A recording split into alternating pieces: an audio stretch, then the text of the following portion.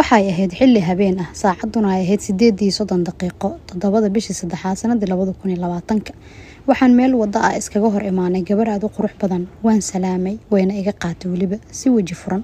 Waxaan ku iri misbaran karnaa waxaan taagannahay waddo ma kala qaadan karnaa kontaktiyada ama ciwaanada haabay igu tiri way qaadatay oo iga ogolaatay kadibna waan kala tagnay.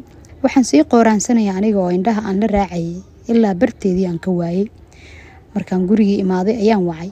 Wada sheekaysi kadibna waxaan isku afgaranay inaan wada sheekaysano intaan iska fahmayno laakiin aada iyo aad ayay nafteeda u cajibisay gabadhaasi. Muddo bil ah kadibna waxaan u sheegtay jacayl laxaddhaafa inaa u qabo. Wayna iga aqbashay weliba iyadoo aada u faraxsan iguna tiri aniga laftirkeyga waan kaa helay. Intaasi kadib waxaan ahayn lamaane xiriir wadaag ah. Sideed bilood muddo ah ayaana wada soconay laakiin safar gaaban ayaa soo galay. Waxaana ka maqnaa magaaladii ay joogtay muddo labo bilood ah intaasi kadibna waxaan ka dareemay inay sidii hore ii aheen oo xiriirkeenu aada u laciifay. Waxaan weydiiyey oo iri maxaa isbedelay gadaasheeda? Waxayna igu tiri waxba ma jiraan wax walba waa sidoodii. Laakiin maalmo kadib waxaa xan ahaan igu soo gaartay inay shukaansato nin qurbaha jooga balse anigu waan aamini waayay taas.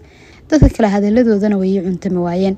Waan sii maqnaa oo safarkayga ayaan ku maqnaa ilaa sanadka dhammaadkiisa waxaana maqlay in arooskeedu uu yahay sanadka cusub bilowgiisa. Markii ay isoo gaartay oraahda ah inay guursan doonto aniga waxaa noqday qof caag ah oo kale oo la ildaran jacaylkeedii. Waxaan iska noqday dhibano jacayl oo la tiicaya dhibkii dhaawaca ka soo gaaray qofkii xiriirka ula lahaa qof kale ka guursatay.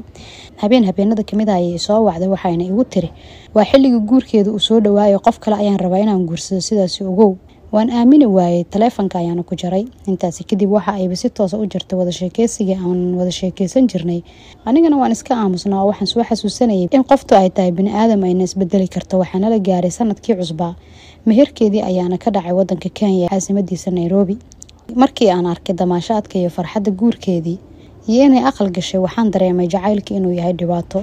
Halkaas ayay kelinimo iiga bilaabatay cildo inaan dareemo weliba qof aan ii ogeyn xaaladan ku suganahay waan iskaga duceeyey maadaama ay ahayd qof aan jeclahay. Muddo dheer kadib ayaana waxaan ka bogsaday dhaawacii dhibtii aan ka qaaday jacaylkeeda. Hal sano markii ay ka soo wareegatay kadib waxaan maqlay in la soo furay ayna tahay gabar garooba ama carmal ah. Sanadka markuu ahaa dhex bartamihiisa labada kun labaatan kowdii ayay soo wacday habeen saddex saaci bar habeennimo markii aan taleefonka ka qabtayna waan istaagay waxaan kala garan waayay inaan fadhiisto oo fadhi kula hadlayo inaan istaag kula hadlo si caadi ah qofta weli qalbigayga ayay ku qoran tahay. Xanuunkii dhibaatada jacaylka ahaa waa ka bogsaday laakiin iyada mar walba waxay ahayd qof aan qadarin u hayo oo aan aada u jeclaa. Anigoo is adkeenay ayaan la hadlay waxayna igu tiri oo iga codsatay waxaan doonayaa inaan is aragno oo aan kula kulmo. Waan ka aqbalay kamana diidi karin. Waxaana is aragnay maalintii xigta oo aan kulanay. Waan aamusin waayey markii ay aragtay siday u ooynayso waxayna igu tiri waan ogahay inaad dhibaato kuu geystay oo jacaylkaaga meel cidlaa uga tegay waan qaldanaa laakiin qaladkayga hadda ayaan ku soo dhacay banaanka cidlo ah. Waxaan doonayaa inaad dib kaaga meero dhibaatadii dhibtii dhankayga kaasoo gaartay oo hadda aan dib u bilaabano xiriirkeeni riyooyinkeeni quruxda badnaa ee aan sawiran jirnay.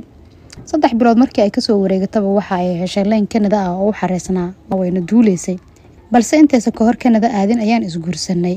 Hadda waxaa ii haysaa wiilkayga curadka maahir bashiir cabdi. Insha allah xaaskayga iyo cunugayga dib ayaan u midoobi doonaa oo nolosheena meel qura ayaan ku wada qaadan doonaa. Haddana waxaan nahay lamaano isku faraxsan oo isjecel haddaba dulucdii ujeedada sheekadani waxa ay tahay dhalinyaro duruuftaha isku nicinina lacag waa la helaa waana la waayaa. Balse jacaylka iyo isfahanka lama helo waana la ilaashadaa qofkii aad jeceshahay oo sida dhabtaa kuu jecel. Waxaan rajeynayaa buu leeyahay wiilka fariinta nala wadaagay ee bashiir.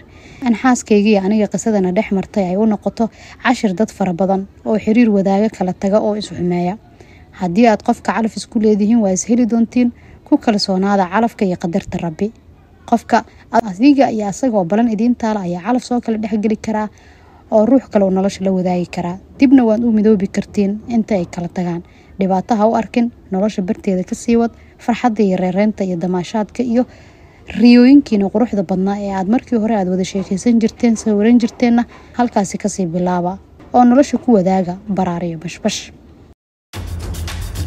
Waa farsamadii iyo iskudubaridkii maxamed cabdiraxmaan yaangimoha